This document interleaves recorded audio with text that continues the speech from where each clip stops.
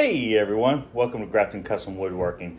So I recently had someone bring this big chunk of block to me and it is a cutting board from a family member and it's got a lot of sentimental value to it. So they asked me to try to clean it up and kind of prep it up a little bit. And so we're going to really try to smooth it down. It's got a little bit of a cup and a bow in it. So we're going to try to clean it up and some of these sharp edges we'll kind of smooth them down a little bit maybe put a little chamfer so that way when it's sitting on the table or the countertop they can kind of grab a hold to it because this is a pretty big heavy chunk of wood. And one thing that there is a lot of cuts and a lot of uh, cracks in it stuff like that so we'll have to try to figure out how to clean those up on the edges and some in the middle and then what uh, we'll probably do is also make a little juice groove in it. So that way we can have one side with juice groove and the other side just be a straight cutting board. So let's start with that. You can see right here how high it is right here. And you can really see the cup, how it's high here and high here and there's a lot of space here. So we got to take a little bit of it out. And once you kind of get closer to this back part, it's a little bit more level. So looking at it, there is a little bit of a rock to it. Um, not much, but there is some on there. But we'll have to level it out and smooth it down. So it is bowed up right here. We'll have to clean that off. This side right here, I flipped it over. This side right here is the side that's high. So I'm just going to take a little bit of blue tape and put it on there. And then I'll flip it back over and see if we can uh, kind of get that twist out of it so it quits rocking.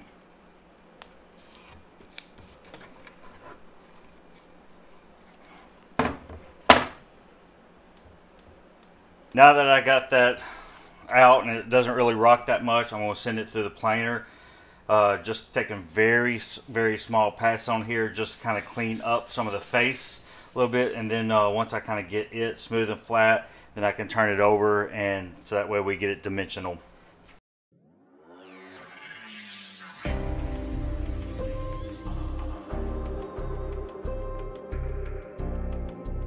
Now you can see uh, it's got some pretty wood to it. Really nice, beautiful wood. Um, there is that crack that I'm worried about. Look, so really big here. But that smoothed it out really good. So now we'll flip it over and work on this side.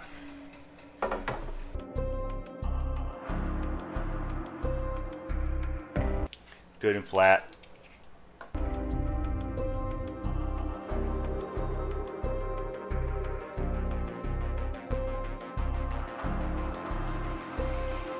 This side, it turned out a lot better.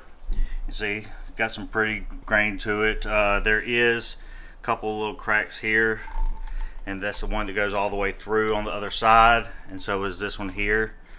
So we'll have to try to seal it. Other than that, that turned out really good.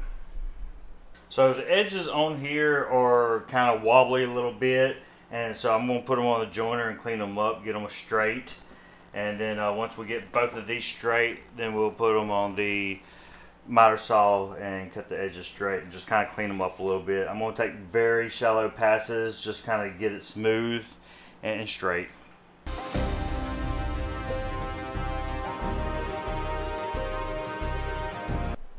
Actually what I'm going to do is now I got this one side straight I'm going to put it on the table saw and cut this side so it's parallel but you can see that was a nice clean cut. It's super straight, super clean.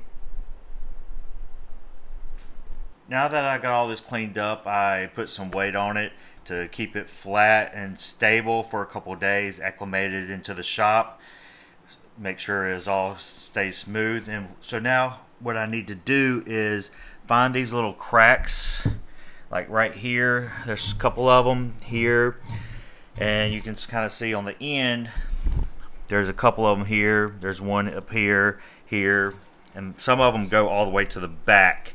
So what I need to do is find where they're the biggest on the ends. And I'm going to turn it around on the back. and just put some tape over it to seal that and then maybe some edge on the edges and then I'll put some epoxy on the other side.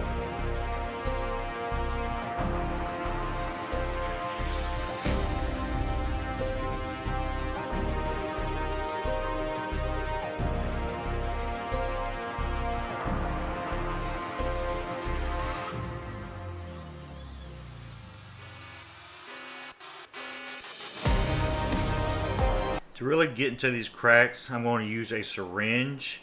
So I'm going to stick the syringe in here and suck some of this up, this epoxy. And just try to squirt it into those little cracks. Let it seep in there.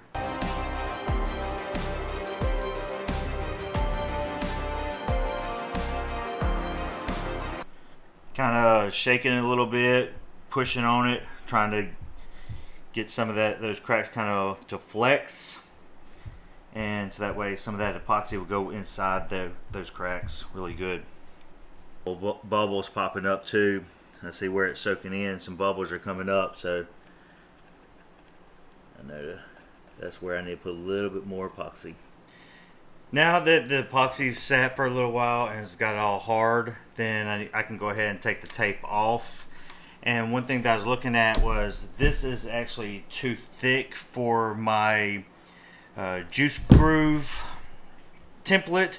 And so I'm going to actually have to take this over to my buddy's house over uh, TJ over at Doran Woodworking and Design. His link will be down below if you want to go check his website out. But he has a CNC, so I'm going to actually have to take it over to his house and cut the the juice groove out with his CNC. Uh, I can't get this thickness into my uh, jig. All right, so now that I brought this cutting board over to my buddies, we've got it on his CNC machine and we've we got the center of it. And so we're going to cut the CNC. First thing we're going to do is we got the bit in here. We're going to cut a chamfer bit on the edges and then we're going to come in a little bit and cut a juice groove and then we're going to just make sure the profile on the outside is lined up correctly. So we're going to go ahead and start that up.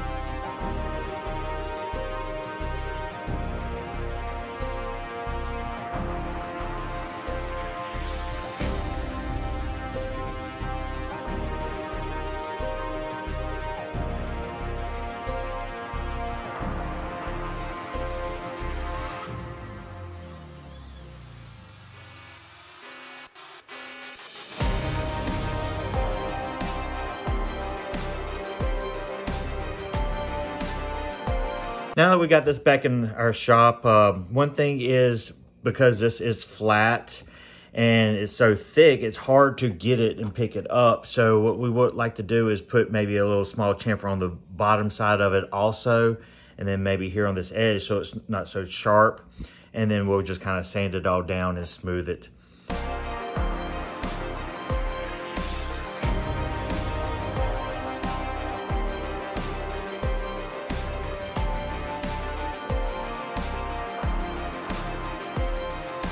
For these sharp corners here on the edges, what I'm going to do is I'm just going to put it on my belt sander and put a 45 and then just kind of kiss it and make sure that we kind of smooth it out. Then I'll come back with hand sanding and clean it all up. So I got it on 45 and what I'll do is I'll put the board here and just, I put some tape on here just kind of help hold it a little bit so it's not wobbly. And then I'll just kind of slowly just kind of kiss here and then clean it up to where we need it to be.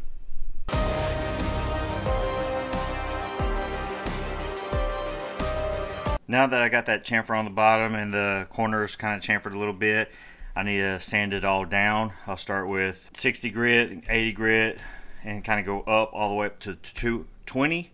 And then once I get to 220, I'll water pop it, sand it to 220 again, and then I'll dunk it in some oil. Once I uh, take it out of the oil, I'll sand it down back to 220 and then kind of go up in the grit so it's nice and soft. To get into the juice grooves, I have these Rockler contour sanding grips, and so I'll just take my sandpaper, wrap it around like that, and then just kind of get into these grooves and sand down the grooves, and I'll kind of just roll it a little bit, just kind of get the edges.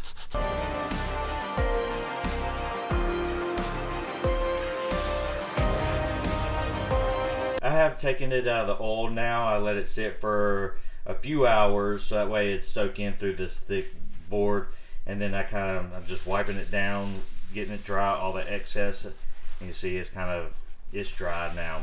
So what we're going to do is we're going to take some Walrus wood wax uh, cutting board and we're going to smear it on here and buff it in really good.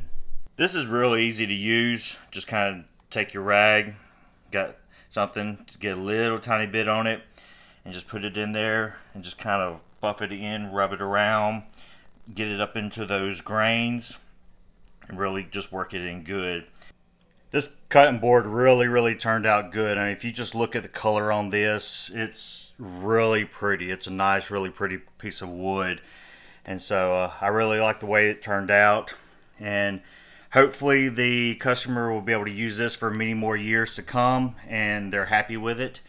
So I, I like it. I would love to have it, but it does belong to a customer. So I want to say thank you for watching. Hopefully you learned some stuff about this. Don't forget to like and subscribe. And until next time, we'll see you later.